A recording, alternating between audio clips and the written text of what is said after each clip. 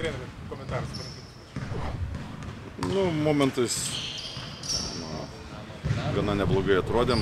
Svarbiausias dalykas, sakau, kad e, po, sakykime, tokių ganėtinai prastų rungtynių, tai sekančią dieną rado, rado motivacijos, rado energijos, nesvarbu, kad mes dar e, trumpesni sudėtyje, bet pavyko visiems padalinti minutės, visi, visi su, su dideliu noru, su didesniu noru, su didesniu užsidėgymu išėjo į, rungtynės. Ir visada smagu yra laimėti, o ypatingai laimėti paskutinės rungtynės, kai vėl įsiskiriam nežinia kokiam laikui, tai geresnės nuotaikos bus autobuse.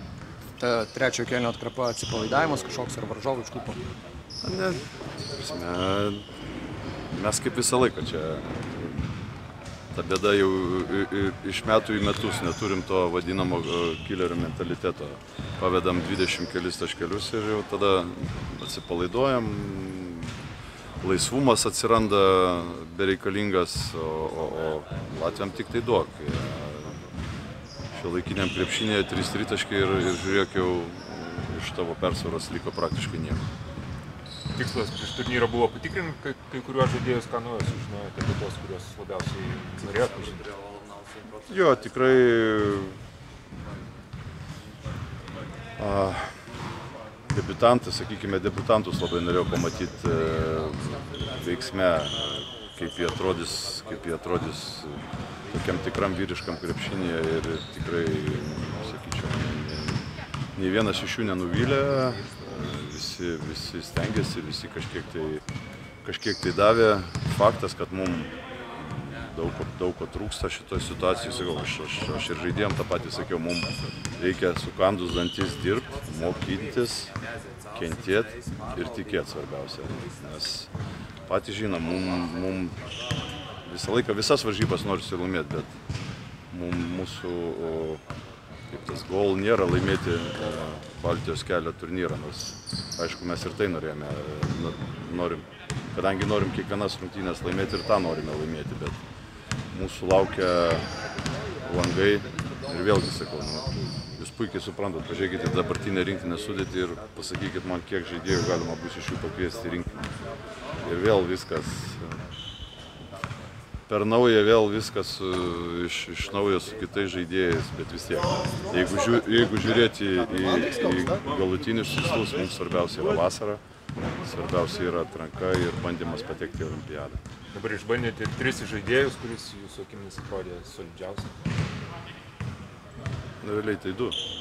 Man tas žaidė praktiškai antrų numerių daugiausiai. Tai šiandien tiek, tiek, tiek, tiek Rokas, tiek Lukas gerai atrodė. Tai gal sakyčiau, iš Roko tokio norėjosi daugiau biški užtikrintumo, tokio jau jisai, jisai sistemą žino, jisai, ta prasme, gerai, gerai valdo komandą, bet momentais trūkdavo tokio truputį šaltos galvos. O Lukas, Lukas tradiciškai. Jeigu kalbėsime apie pagrindinius turnyrus, tokius kaip olimpinė atranka, kiek arti yra Jokubaitis prie tokios pagrindinės rinktinės lenkščių? Labai arti. Nes situacija tokia, tai jisai yra, sakau, bet ką, ta, ką reiškia tas artys, jis, jis turi įrodinėti ir net ir tokiuose rungtynėse kaip šiandien ar kaip vakar jisai visą laiką turi įrodinėti, kad jisai gali būti jau rinktiniai, žaisti su, su pačiais geriausiais, ką mes galime surinkti. Tam momentui čia nieks nieko avansų tikrai ne, nežada dalinti, bet šiai dienai taip yra, kad jisai yra vienas iš geriausių Lietuvoje. Ką dar turėtų pridėti Tadas Indikersis, kad irgi pasijūstų tokių pilnaverčių rinktinės, kaip čia pasakyti, pretendentų jau kitą vasarą. Aš, aš, jau, aš jau minėjau ir po pirmų rungtynių, aš tikrai, jis manęs visiškai nenustebino savo norų, įsidėgymų, jisai visą laiką dirba, dirba papildomai, stengiasi. Faktas, kad rezultatas ateis. Jam yra sunku ir mes tai suprantam tikrai, nes jį, jį, jį kaitoliam per pozicijas. Pats nežino savo pozicijos, sakykime, klube. Jį ten nori, nori matyti trečių, treneris nori matyti ketvirtų. Čia mums irgi susiklosti situacija, kad, kad mes į grinai į ketvirtą pastumėme naują sistemą gynybos. Truputį e, pirmas debutas Lietuvos rinktinėje. Vis tiek kažkiek tai jaudulys, kažkiek tai a, ką žinau, bet su juo viskas gerai. Kūną turi kažkas, kažkas tokio, jam reikia stabilesnio metimo, gaudytis geriau gynyboje.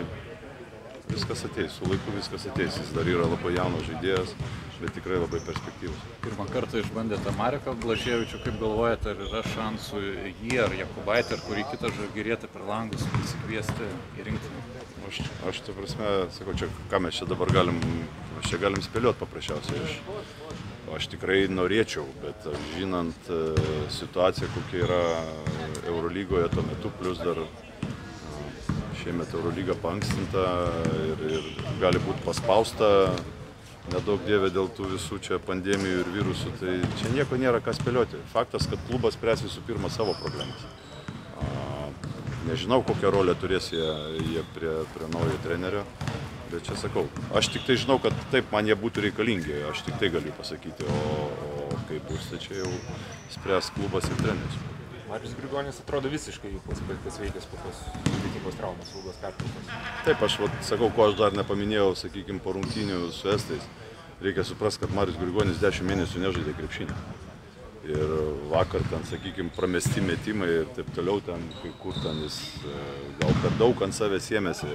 Tai tokį tem kreditų į priekį truputėlį, nes e, čia yra vienas iš geriausių šiai dienai mūsų atakuojančių žaidėjų ir, ir, ir, ir vienas iš lyderių ir dešimt mėnesių nežaidęs e, rimtų varžybų.